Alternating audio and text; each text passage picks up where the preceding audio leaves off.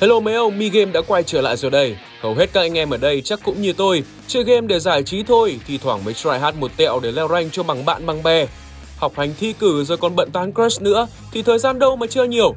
Tôi với mấy ông là thế, nhưng trên đời này vẫn có những người chơi game là để được lưu danh lịch sử. Đó cũng là lý do mà tổ chức Guinness cho ra đời quyển sách kỷ lục thế giới phiên bản gamer. Tôi cũng có đọc qua và phát hiện ra rằng đúng là có những kỷ lục không tưởng thật, nhưng đa số lại là những kỷ lục không chỉ rất xàm, mà lại còn rất dễ phá ấy chứ. Kiểu chả ai quan tâm tới nên là một phát là đạt kỷ lục thế giới luôn đấy. Sau đây là top 5 kỷ lục game xàm nhất thế giới, mà bất kỳ ai trong các anh em ở đây cũng có thể phá được. Đã tới lúc anh em chúng ta lưu danh và sử sách rồi ông ạ. Vào video thôi nào.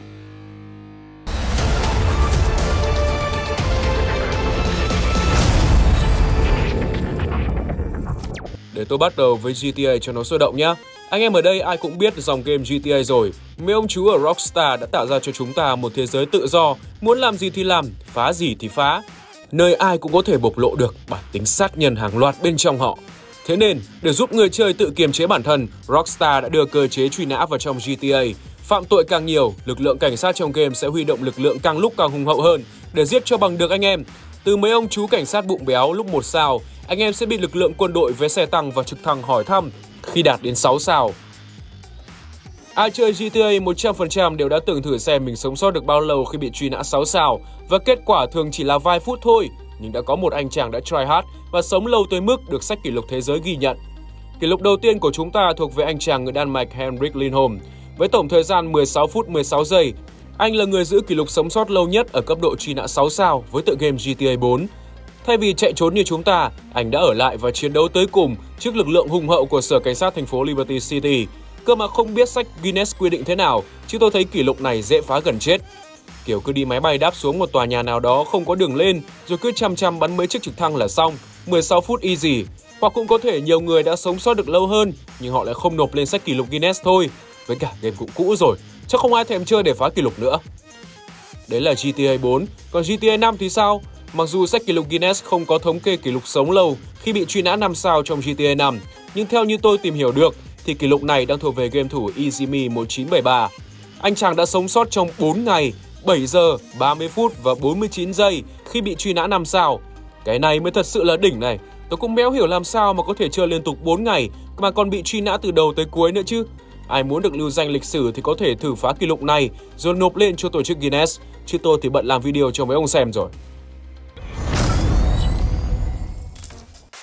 Nhắc tới chuyện chơi game liên tục 4 ngày không nghỉ thì các anh em ở đây chắc đều từng trải qua cảm giác bị ba mẹ kêu tắt máy nghỉ khi chơi game quá lâu, mà quá lâu theo tiêu chuẩn của ba mẹ thì chắc là 2 tiếng. Đúng kiểu là 2 tiếng phải tắt ngay, bất chấp anh em có xong nhiệm vụ chưa, không thôi là roi vào đít, hoặc tệ hơn là cấm không cho anh em chơi game cả tuần luôn. Tình hình còn bi đát hơn khi mà truyền hình Vĩnh Long cứ lâu lâu lại đưa tin tác hại của việc chơi game. Game là tệ nạn xã hội.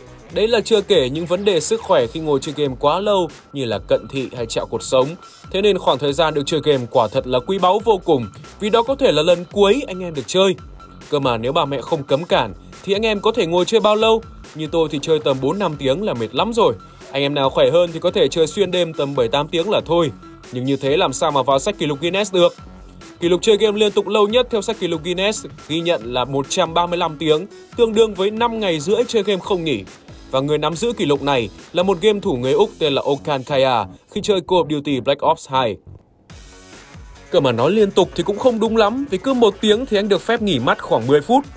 Và nếu chơi liên tục không nghỉ, anh ta có thể cộng dồn khoảng thời gian được nghỉ. Kiểu chơi 6 tiếng liên tục thì anh sẽ được nghỉ 60 phút. Phải cho thời gian nghỉ là vì tổ chức Guinness cũng không muốn có người chết vì muốn phá kỷ lục. Bởi đã từng có một game thủ người Đài Loan chơi game tới chết. Cụ thể, gamer xấu số đã đột quỵ sau khi chơi Diablo 3 liên tục 40 tiếng không ngừng. Tôi nhắc tới kỷ lục này cho các ông biết thôi chứ tôi không xúi mấy ông đi phá kỷ lục này đâu. Đúng là chỉ cần chịu khó, kiên trì là phá được. Nhưng mà thôi, bỏ đi mà làm người các ông ạ. Chơi game điều độ, chăm lo học hành, nghe lời cha mẹ, có thời gian rảnh thì đọc sách hay chơi thể thao cho nó lành mạnh. Chơi game nhiều quá sau này ngu người, lại đi làm kênh YouTube về game giống như mi game tôi thì lại chết dở. Nhớ đấy, game cũng ít thôi. Kể từ ngày mà Marcus Persson đăng tải bản alpha đầu tiên của Minecraft, 10 năm đã trôi qua và tựa game nhỏ ban đầu đã trở thành gã khổng lồ bao phủ cả thế giới. Cộng đồng Minecraft sau gần ấy năm giờ lớn mạnh chưa từng thấy, với hơn 74 triệu người vẫn đăng nhập đều đặn mỗi tháng. Với tuổi đời cũng như cộng đồng năng động như thế, có rất nhiều kỷ lục thế giới liên quan tới Minecraft. Có thể kể tới một game thủ người Áo đã chơi Minecraft liên tục 24 tiếng không nghỉ, rồi có người đã mô phỏng lại toàn bộ đất nước Đan Mạch theo tỷ lệ 1-1 bằng hơn 4 tỷ khối. Nhưng mà kỷ lục mà tôi muốn nhắc tới nó không ấn tượng và hoành tráng được như thế. Nó chỉ liên quan tới con heo trong game thôi. Nhắc tới những sinh vật trong Minecraft thì tôi biết anh em nghĩ ngay tới Enderman, Herobrine hay là Entity 303 mà thôi. Toàn là những thứ đáng sợ cả, chứ chả ai mà thèm để ý tới con heo trong game đâu. Thứ hay ho nhất liên quan tới con heo chắc là thử thách làm con heo trong 24 tiếng của một YouTuber nào đó rất là nổi tiếng ở Việt Nam. Nói chung tôi cũng không nghĩ ra được chuyện gì hay hơn để làm với mấy con heo trong Minecraft ấy thế mà ở nước ngoài lại có một game thủ được sách Guinness ghi danh với kỷ lục khoảng cách xa nhất khi cưỡi heo trong Minecraft. Cụ thể, game thủ người Mỹ tên là LJP Gross đã cưỡi heo đi được 667 km trong thế giới của Minecraft. Kỷ lục này muốn vượt qua thì cũng dễ thôi. Anh em cứ cưỡi heo rồi đi thẳng một đường trong tổng thời gian là 48 tiếng. Easy phá kỷ lục thế giới. Anh em nào muốn rảnh thì cứ thử. Chứ tôi không có đủ kiên nhẫn để cưỡi cái con heo này trong vòng 2 ngày liên tiếp đâu. Có cả ối thứ hay ho khác để làm trong Minecraft thì cớ sao lại phải đi cưỡi heo? Nói thật chứ thả bỏ 24 giờ sống trong người con heo giống như một youtuber khác cũng nổi tiếng ở Việt Nam còn hơn là phải ngồi trên con heo này. Tôi thích giữ kỷ lục khoảng cách ngắn nhất khi cưỡi heo trong Minecraft hơn, đó là 0 km. Cách đây tầm giam 3 năm, khi nói chơi game có thể kiếm được tiền thì chắc chắn nhiều người sẽ cười vào mặt anh em, bảo chơi game là vô bổ, là phí thời gian. Nhưng thời thế đã thay đổi rồi anh em ạ, streamer bây giờ không những kiếm được tiền mà còn rất nhiều tiền là đằng khác. Tứ hoàng streamer bao gồm Pew Pew, Virus, Semesis, Độ Misi không chỉ dừng độ nổi tiếng của mình ở trong cộng đồng game thủ mà đều đang tiến bước trên con đường trở thành những ngôi sao giải trí đại chúng. Hình ảnh những Misty, Linh Ngọc Đàm, Thầy Giáo Bà xuất hiện ở khắp nơi, từ các show truyền hình, TVC quảng cáo của các nhãn hàng. Cơ mà để trở thành một streamer nổi tiếng như các idol ở trên không phải là dễ, phải nói là rất rất khó là đằng khác. Bởi ai cũng chơi game được, nhưng không phải ai cũng có cái duyên thu hút người khác xem mình chơi game. Các kỷ lục như là streamer có nhiều người đăng ký nhất, streamer kiếm nhiều tiền nhất thì hơi khó để phá, nhưng tôi đã tìm ra được một kỷ lục mà các anh em hoàn toàn có thể cân nhắc. Đó là streamer lớn tuổi nhất thế giới. Cụ bà Hamako Mori, 90 tuổi, đến từ Nhật Bản, ghi danh trong sách kỷ lục Guinness là streamer cao tuổi nhất thế giới. Cụ chơi game từ năm 1981, lúc đó đã 50 tuổi, và tiếp tục chơi game cho đến tận bây giờ. Và bà Hamako Mori bắt đầu sự nghiệp streamer vào năm 2014 với kênh YouTube riêng của bà là Gamer Grandma. Hiện tại, kênh Gamer Grandma của bà hiện đã có hơn 413.000 người theo dõi. Theo bà Mori thì một trong những trò chơi yêu thích của bà đó là GTA phần 5. Muốn phá kỷ lục này thì đơn giản thật sự, các ông chỉ cần đợi 70-80 năm nữa, miễn sau lúc đó hơn 90 tuổi, sau đó nhờ con cháu lập cho cái kênh YouTube rồi bắt đầu stream game thôi. Quá dễ đúng không? Tôi nói kỷ lục này anh em có thể phá chứ đâu có nói là anh em có thể phá ngay bây giờ đâu. Không biết các ông ở đây đã đi máy bay hết chưa? Nếu chưa thì để tôi kể cho nghe là khi đi máy bay, lúc cất cánh hay hạ cánh, các ông tuyệt đối không được sử dụng điện thoại hay các thiết bị điện tử. Muốn dùng thì phải chờ khi máy bay đạt độ cao ổn định rồi, nhưng vẫn phải dùng chế độ máy bay. Đây là một biện pháp an toàn nhằm tránh việc sóng điện thoại gây xung đột tín hiệu với thiết bị dẫn đường của máy bay hoặc là gây nhiễu vào radio của phi công. Vậy thì việc này liên quan gì tới kỷ lục game của thế giới? Vào năm 2002, Faiz Chopdat, một công dân Anh Quốc đã bất chấp các quy định của hãng hàng không, mặc cho các tiếp viên năn nỉ hết lần này đến lần khác, vẫn lì lợm móc điện thoại ra chơi game cho bằng được trong lúc mà máy bay cất cánh. Được biết, Tựa game mà anh chàng ghiền tới nỗi không bỏ xuống được là con game xếp hình Tetris. Và kết cục thì sao? Ngay sau khi máy bay hạ cánh, Chopdat bị cảnh sát hàng không bắt giữ và kết án 4 tháng tù vì cái tội vừa ngu lại vừa lì. Lúc đó là năm 2002, mới chỉ một năm sau vụ 11 tháng 9, khi hai chiếc máy bay bị bọn khủng bố chiếm giữ lao vào trung tâm thương mại thế giới, nên là lúc đó chính quyền cũng hơi căng khi có hành khách không chấp hành quy định khi bay. Và chớ chiều thay, trường hợp của thanh niên này đã được ghi vào sách kỷ lục Guinness với kỷ lục là án tù lâu nhất vì chơi game đây chắc chắn là một kỷ lục đáng xấu hổ mà không ai muốn nhận, nhưng muốn phá thì cũng không quá khó, cơ mà liệu có ai muốn phá không? Đúng là có những kỷ lục dễ phá thật, nhưng mà thật sự đừng nên dại dột mà phá các ông ạ. Tôi khuyên thật lòng đấy, đi tù rồi sao mà xem video của Mi Game được nữa đúng không nào? Các ông thường chơi game như thế nào? Chắc hầu hết là chơi trong phòng riêng, hoặc cũng có thể là chơi PS4 ở phòng khách chẳng hạn. Cũng có anh em không được học sinh giỏi cuối năm nên ba mẹ không cho mua PC riêng, phải ra nét mà chơi. Sở dĩ tôi hỏi như thế là vì kỷ lục tiếp theo nó lại liên quan tới việc anh em chơi game. Sẽ ra sao nếu tôi nói chỉ cần mở máy lên chơi game thôi, anh em cũng có thể phá kỷ lục thế giới?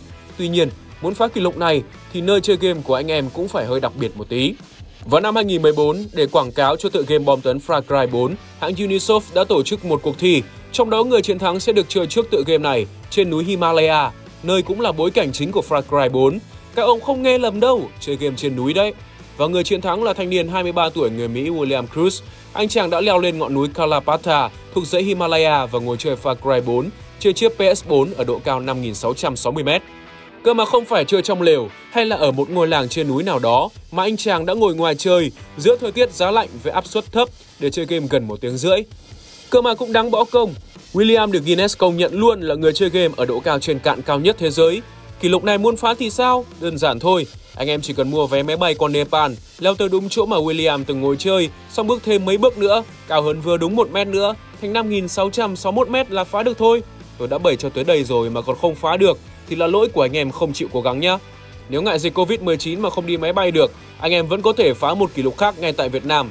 Là người chơi game ở khi nhảy dù độ cao nhất thế giới. Đúng như tên gọi, anh em phải vừa nhảy dù vừa chơi game.